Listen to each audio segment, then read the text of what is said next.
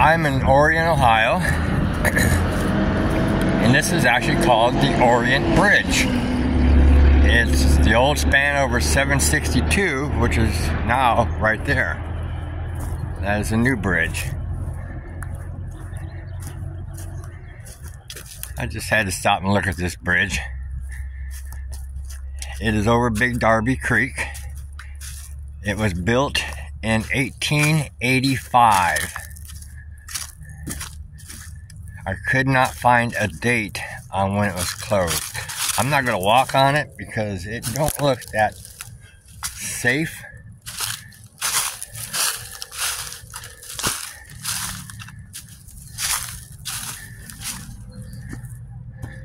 But uh,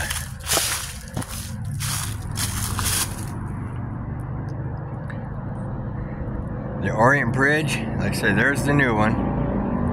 This is the old one here.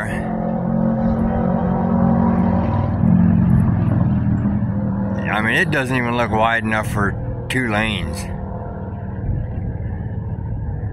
It looks like a one lane bridge.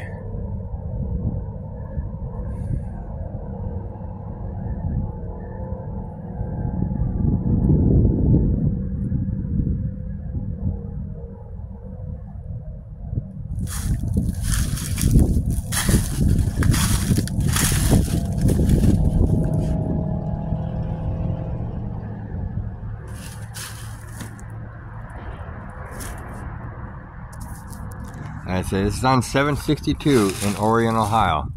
If you just Google Orient Bridge, it'll come up.